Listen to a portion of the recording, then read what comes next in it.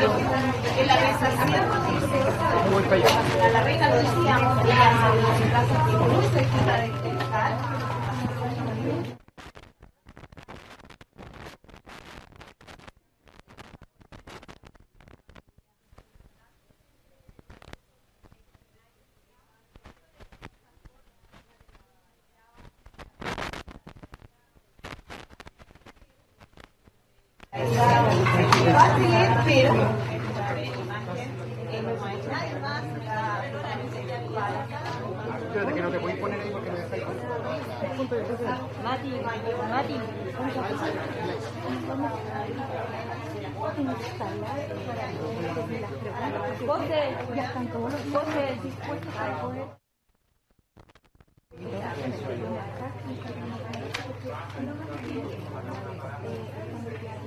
好的。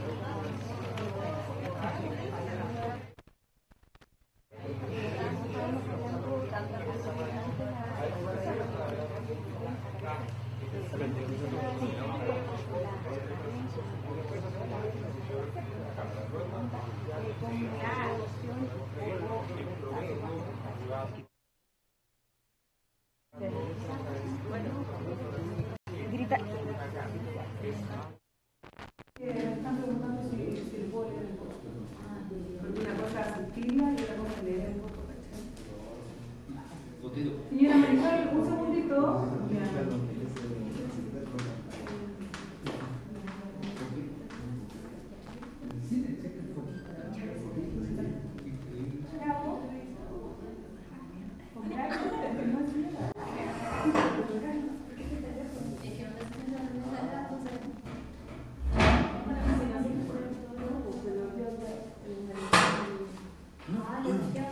Ya.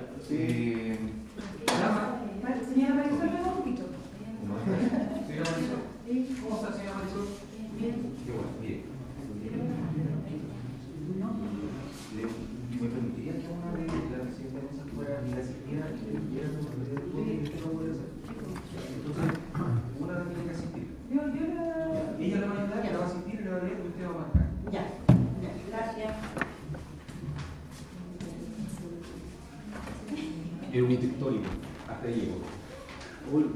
Pero... nunca, nunca se había utilizado tema, jamás. Entonces primera vez. Delegado, pensé que no se igual que en el caso de Moisés y yo Pero lo tengo que tener en mi poder. Sí, claro, asociado al al- Sí, ¿Cómo lo, cómo lo podemos? Fíjate que, bueno, nunca nosotros, en los años que yo trabajando, se ha utilizado sistema de breve. Nunca. Y, se usando. ¿Pueden conversar afuera, Eh, por o sea, algo.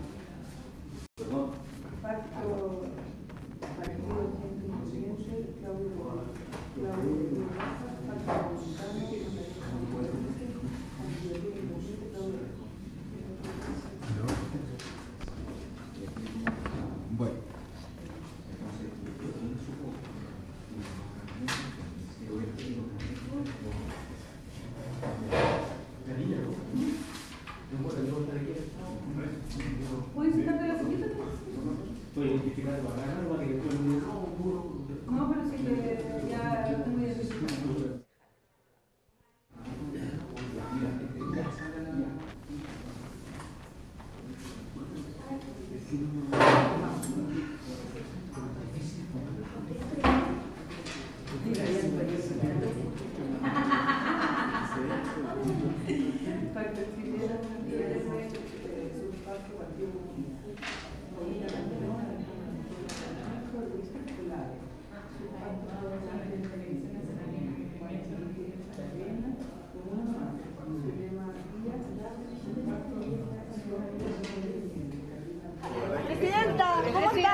está? Está brevemente aquí, podemos conversar con usted.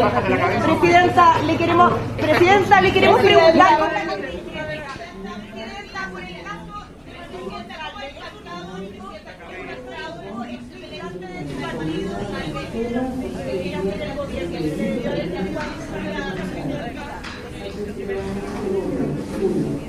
Claudia